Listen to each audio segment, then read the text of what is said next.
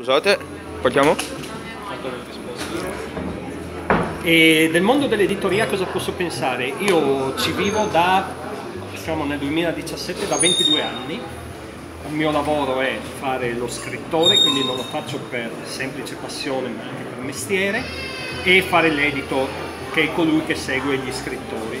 Faccio l'editor per una casa editrice e da, da appunto 22 anni, quindi del mondo dell'editoria credo di averne un ampio un'ampia visione e penso che sia per alcuni aspetti un bel mondo perché naturalmente aiuta a produrre i libri e i libri si sa sono le fondamenta di ogni società. Dall'altra parte è un mondo malato perché è fatto da sbruffoni che dopo aver scritto un libro si sentono anyway, per cui il mondo dell'editoria dovrebbe per avvicinarsi di più alle persone essere leggermente più simpatico. Penso questo. E secondo lei che la scrittura può influire nell'evento della società o come la società influisce nella scrittura?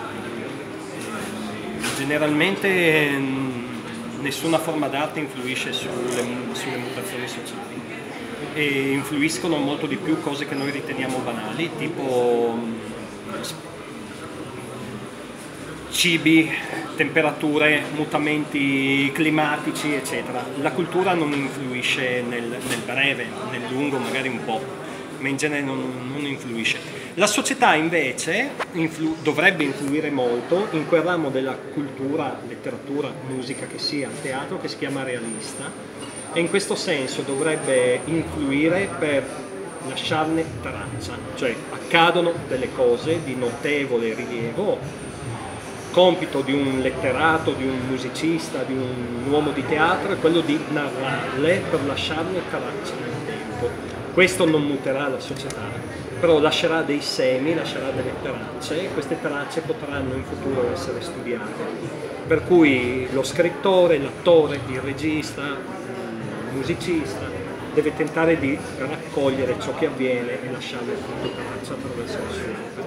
E l'unica cosa onesta che possiamo fare. Immaginare di cambiare la vita a qualcuno sarebbe esagerato e torniamo alla domanda che mi hai fatto prima e renderebbe una distanza talmente abissale che non saremmo più ascoltati. L'ultima domanda era se lei ha un autore che l'ha influenzato leggermente nel passato oppure movimenti. Non è Fabio Volo come ci si può immaginare ma è Luis Ferdinand Silva che credo insomma, insieme a pochissimi altri sia uno dei 5-10 più grandi scrittori del Novecento ed è quello che forse mi ha influenzato nel, nel vedere alcuni aspetti della società.